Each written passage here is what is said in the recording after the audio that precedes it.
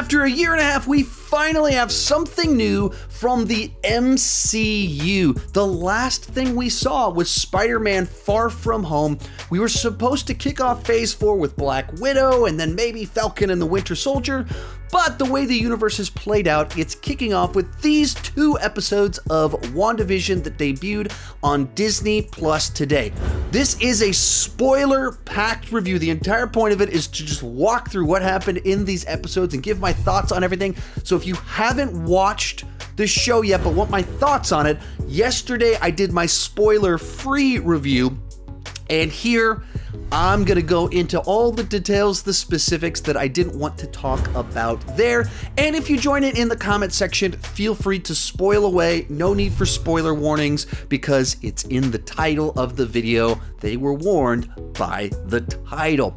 If you're new to kind of my spoiler reviews, they're intentionally a little bit more relaxed, freeform, as I just kind of let you know my thoughts on what happened and walk through it in detail. Down below in the description, I'll kind of try to have, as well as the pinned comment, kind of the outline of when things are happening if you want to skip ahead to some specific things that happened in the episode, but don't want to hear everything that I'm going to say. It's down below.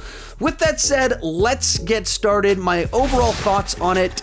I've now watched all three episodes that were given to the press twice and I still don't really know how I feel about it because I, I don't know where they're going with this. I don't know how it's all going to tie together or how the execution of that will fit with what they've done thus far because, as I said in my spoiler free review, these play out as just episodes of sitcoms of decades past. Each episode fits the format of the sitcoms of a different decade, starting in the 1950s, in, in which case there's just such a gigantic kind of gap between what the MCU has always been and what this is, and there's no transition. This episode kicks off with their theme song of them pulling into their house in the style of like I Love Lucy or something like that. That's where the episode begins. There's no transition, there's no context. We're just in a sitcom, except we know these characters are from the MCU. So you you immediately go, what on earth is going on? You get to the end of the first episode, and there's some little hints, weird oddities that happen in the episode. Pulls back, and that's the first time it makes it clear that something's really going on here, but no answers are given. You finish the second episode. Once again, hints, moments, but we don't know what's happening. And it's tough to process and know what to do with something that's so far removed from everything that we that's come before. I, have been skeptical of this show pretty much all along. As soon as they said, yeah, it's going to be like a 50s sitcom with Wanda and Vision, I was like, well, that's weird. and the big criticism of the MCU is that there's a certain predictability to it. They follow templates, kind of feels the same, they play it safe. So this obviously is a big, bold move Nothing same here except a couple characters, everything else wildly, wildly different. So some people have tried to be like, be like, dude, you said that you the MCU is too predictable and you want to see them do something different. They do something different. Now you're complaining it's too different. Let's try and find the reasonable take on this.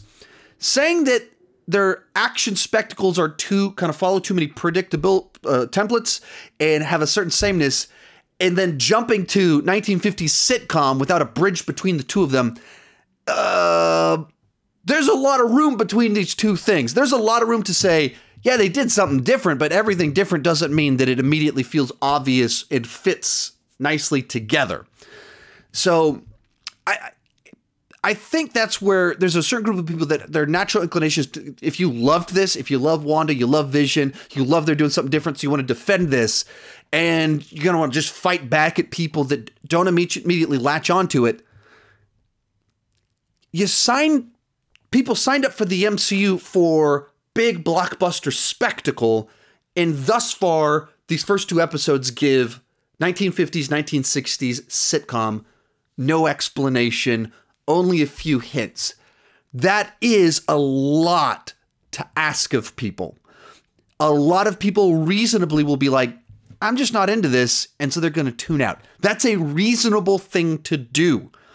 If they say it's terrible, if they just say it sucks, uh, you know, I think maybe they're jumping to conclusions and they're confusing not for me with this is poorly executed. It's very well executed what they're going for, but that's not quite the same thing as saying that it's for everyone.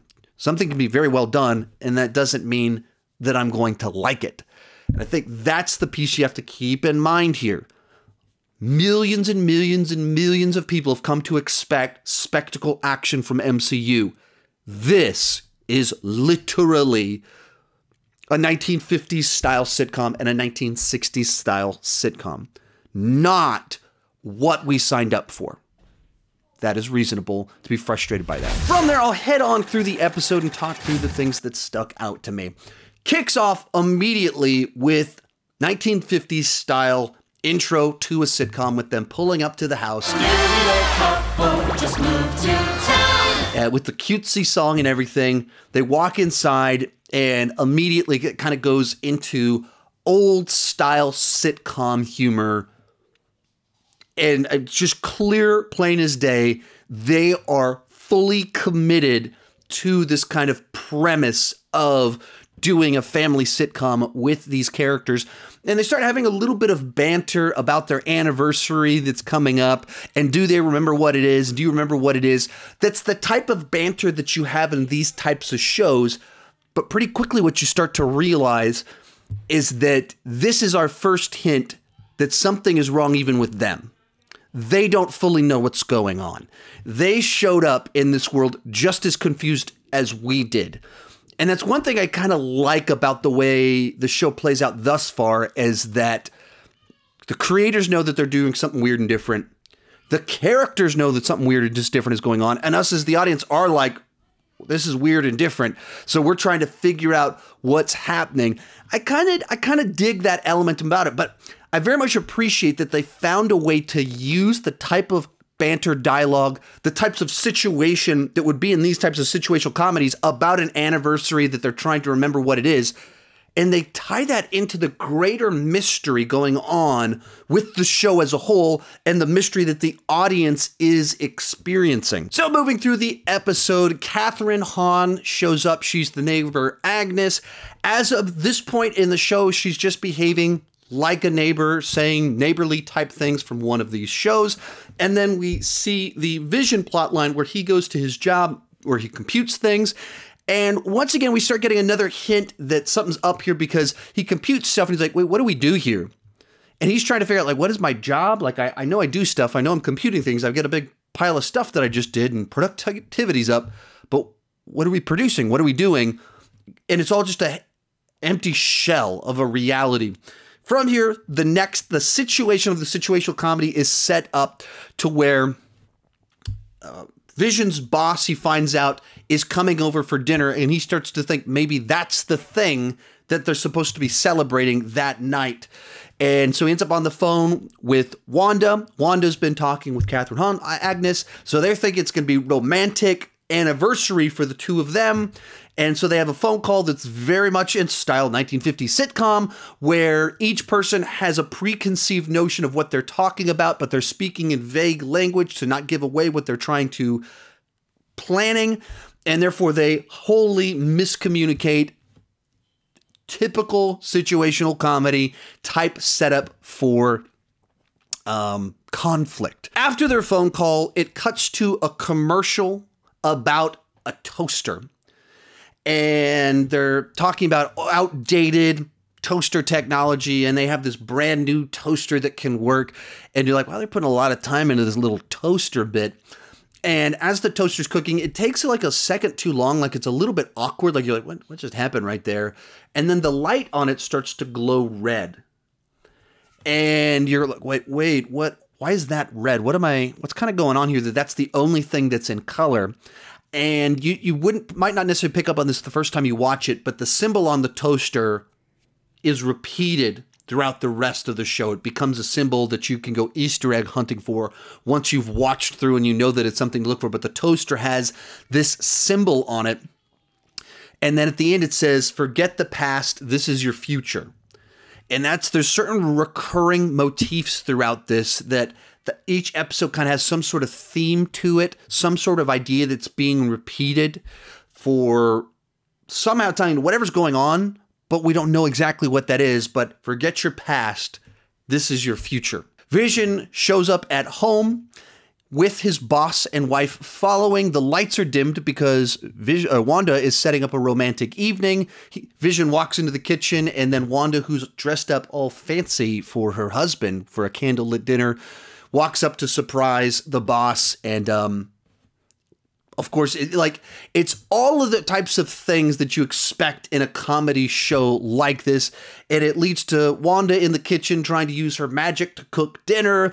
But in doing this, she keeps almost being exposed for using magic. And so then Vision's trying to cover up with the boss's wife. And so he starts singing Yakety Yak, Don't Talk Back, and Old MacDonald to the boss's wife.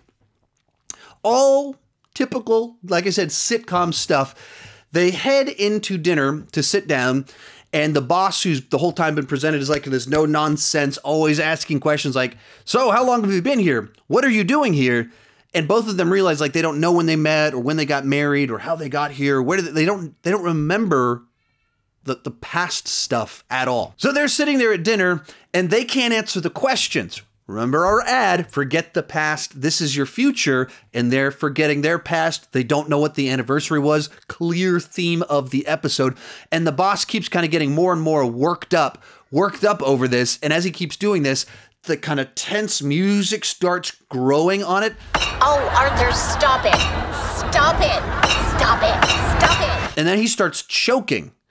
And his wife is like trying to get him to like like calm down a little bit, but she's like disc like she's kind of worried, but she's laughing, and it's just very unsettling. It's like it's just kind of playing this eerie music and kind of zooming in on faces. The guy falls over like he's about to die, and then it just cuts to Wanda, and in her normal voice, not her old timey sitcom voice, she goes, "Vision, help him." And it, like she, like she snapped out of it for just a second. Vision walks over, reaches in, pulls food out of the guy. Guy's happy and then the situation is resolved. The boss likes him, thinks that maybe he will be management material, and things end up going well for them. And uh, he's going to get the promotion on Monday whenever he comes back around.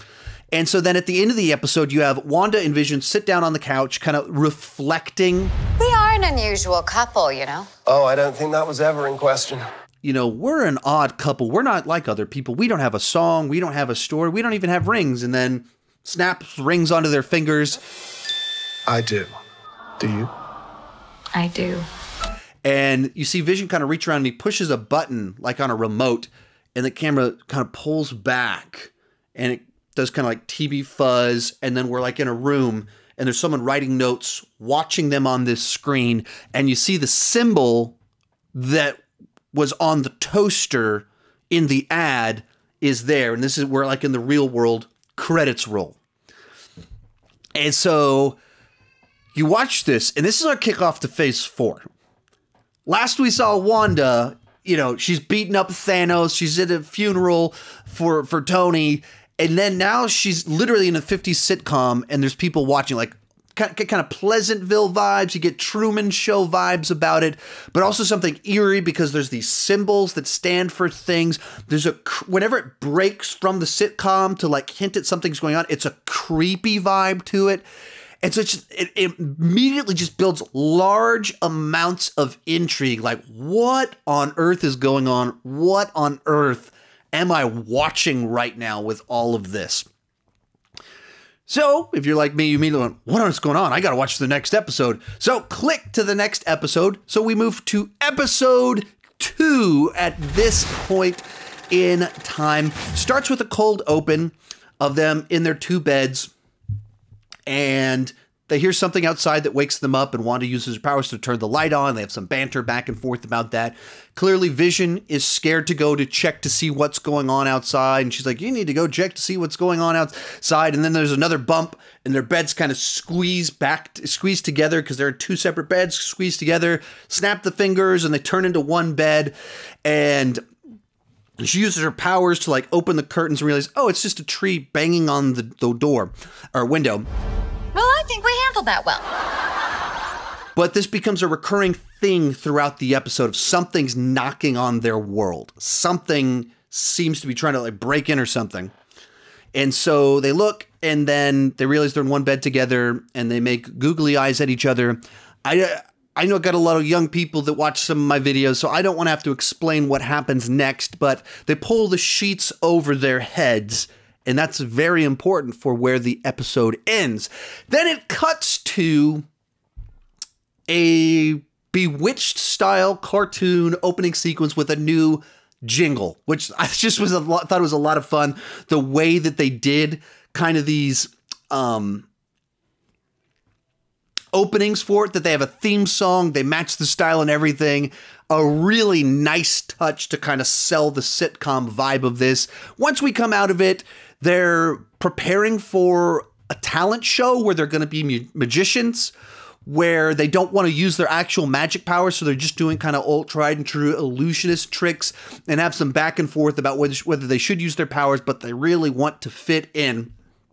And so later on, Wanda's cleaning up the house and she hears another thud kind of shake of the house. So she walks outside and the eerie music kind of starts to play again and she finds like a little remote control helicopter thing in the bushes and it it's in color once again. It's got a couple of different colors on it and on the side of it is our symbol.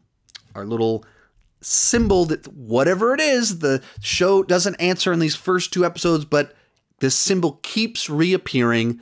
And when the symbol's there, we have color on the screen. And so it means something, but we don't know what that something is. And I don't know all of the places that the symbols start to show up here. Then Kathryn Hahn walks up to invite Wanda to, I guess, the planning meeting for the talent show that they're going to. They have some nice little banter back and forth between going, I guess, to its Dottie's house uh, Dottie is played by an actress that was actually on Buffy the Vampire Slayer. So that was a nice little detail that this actress from Buffy the Vampire Slayer came back for this show, and she's she's playing someone that has basically the same personality as her character from Buffy the Vampire Slayer, which is kind of amusing to me. But they're planning the meeting, and the Dottie character is just the worst. She's just looking for reasons to kind of swat people down. She's the um type A person that wants to control the meeting, have everything play out the way she wants it to happen. And while they're there, um, while while Dottie's talking, she says, "The devil is in the details." And Kathryn Hahn leans over and she goes, "That's not the only place the devil is." Which, once again, pretty sure that is a hint at where all this is going. Some sense that's some indicator hinting at this detail that's important for the show as a whole. I haven't read the House of M comic line that's influencing a lot of this, so I don't really know the deep details and don't want to know too many of them because I'd rather see the story unfold as I watch it. But little stuff like that, that's where watching it a second time was very enlightening. It was. Uh, it's a different experience as you're like, what is am I watching right now? It's like a sitcom, and you watch it the second time, and you notice symbols and all the different places they show up, and you notice these lines of dialogue that play out, and they have much deeper meaning than you initially thought that they did. Then at our meeting, Wanda meets Geraldine. And Geraldine starts talking to her, being nice and friendly, and they keep being corrected by the lady who's running the meeting. The uh, if, if you if you're unaware of this, if you like don't want to know anything that's not stated in the episode, maybe mute this for the next 30 seconds. But the actress is here. The character's we've known from other released information. She's playing Monica Rambeau. She's the little girl from Captain Marvel, grown up, now works for this organization. And that's kind of where she's in this. Her name is not Geraldine. So right off the bat, just knowing that information going into this, I was like, what's what's kind of going on here? Like what's how does she tie into what what is happening here? But she she seems um just friendly friendlier than, than, some of the other people in the town. As their meeting comes to an end, Dottie, the leader of it, has them repeat for the children, and everyone kind of repeats for the children. And immediately you're like, okay, that that felt very cult like, like for the children, the way it was said has a weird vibe to it. And with where the episode ends and certain other ways things play out, it seems like that ties into whatever this is going towards, whatever we're building towards. that creepy little moment had some weight to it. Meanwhile, Vision goes to the library for the community safety meeting, local watch meeting, and he shows up to it, and everyone's like, "Hey, um, you know, you're not normally these are invite only and he sits down everyone's kind of treating him a little bit weird until he starts joking around and they're like oh you are like us you can joke around. And he's making jokes about not eating anything and someone's like well would you eat some gum? And he goes yeah and it's not food. So he starts chewing on it and they make a mastication joke which was kind of funny that they they did make the joke that they did in something MCU. And then as he's chewing the gum, someone slaps him on the back, so he accidentally swallows the gum and it gums up his works. Like it goes to animation of his insides getting messed up. So then it cuts back to Wanda and Dottie talking, and Wanda's trying to reassure Dottie that they want to fit into the community and she means them no harm. And clearly, like, Dottie is kind of like nervous and she's she says, I don't believe you. And like the tense music starts to build up a little bit. And then Dottie looks at her and she goes, Who are you? And through the pop music, it kind of cuts out. And then somebody says, who is doing this to you, Wanda? Wanda, can you read me? Who's doing this to you? And then it like tension builds up. Dottie smashes the glass that's in her hand and cuts her hand. Her blood is red. And then they just kind of snap out of it and go back into sitcom mode and go on with their day. Then we get our next kind of TV ad segment on here. This time it's for a watch. And on the face of the watch, it says Hydra on it, and it has a, a different kind of symbol on it, but one that's also repeated in later episodes. This one doesn't have color, doesn't have the symbol that has color associated with the other symbol that you keep seeing showing later up, and Hydra is set, does say Hydra on the watch. So we go to our talent show and Vision shows up basically drunk from his gears being gummed up. And Dottie starts off the event by saying, For the children. And then she says, Our last act is Wanda and Vision. And they go up, and drunk Vision keeps using his powers to do magic. And everyone starts being like, Wait, what? How are they doing all of this? So then Wanda uses her powers to create some explanation for what they're doing. Probably the funniest bit of these two episodes was the hijinks that kind of goes on here. And by the end of it, everyone's laughing. Dottie goes up. It seems like she's going to, you know, chew them out, and instead decides to give them the award for the funniest group of people that were there. Oh, and right before they won the award, Wanda realizes something's wrong with them. so she uses her powers to remove the gum from him, and he's back to normal.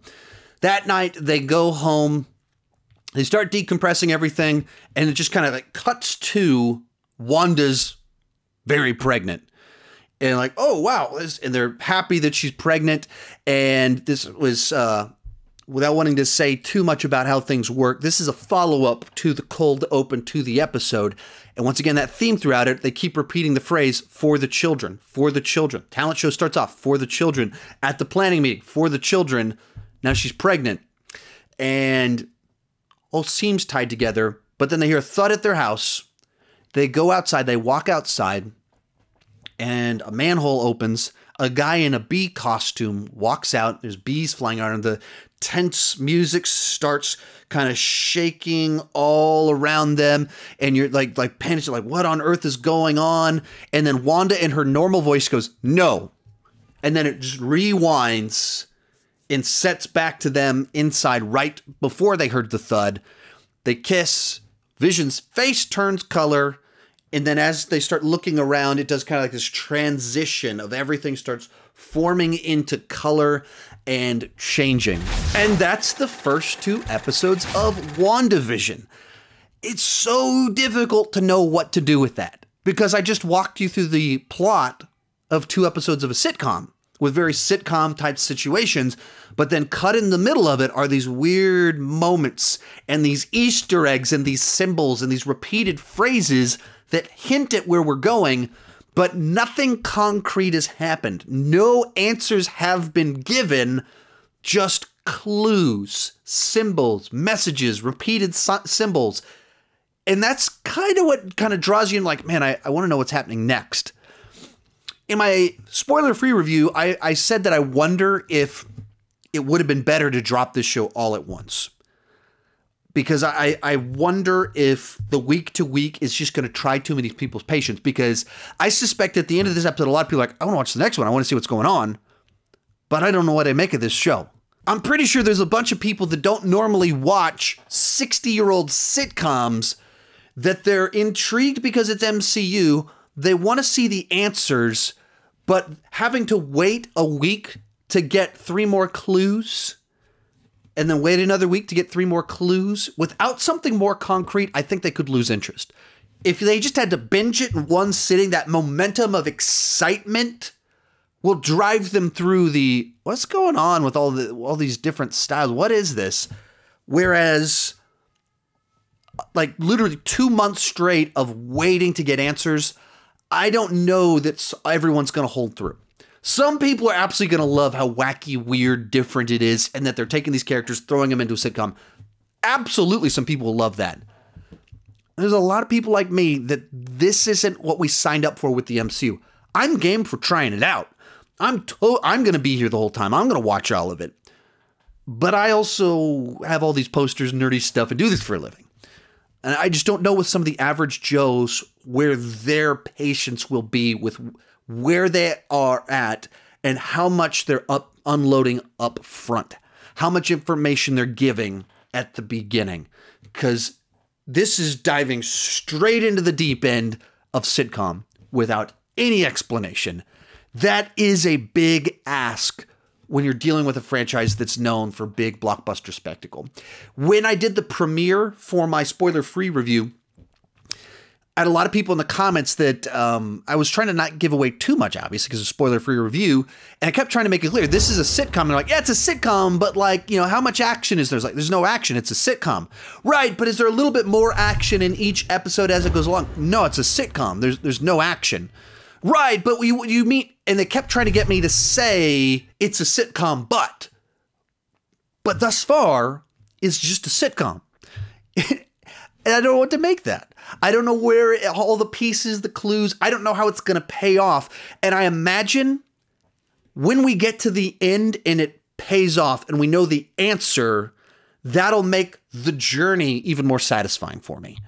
When you rewatch it and you see all the clues and you know what they mean and you can it's a very different experience from watching it just as a sitcom and being like well that was weird why did they say that and that's the reason that i didn't give it a letter score or grade score in my spoiler free review. I'm not going to do that now because i just don't know. With a show like this i think you have to see more of it to have a more firm position on where you are with the show as a whole. So there you have it. That's kind of my walkthrough of all the thises and that's that happened, my takeaways, the little things that I noticed, and um, I am excited to see the next episodes. Actually, I've already, seen the third episode, but I'm I have to wait two weeks now to see the fourth episode, and I'm excited to see it and want to know what's going on. But at the same time, I, I can't say that I'm fully invested in this the way that I am with more traditional MCU type programming. Let me know your thoughts down below. Check out my spoiler free review right over there. Check out my thoughts on my anticipation for all the other Disney Plus Marvel shows right over there. Thank you so much for watching and keep talking movies and Marvel too much.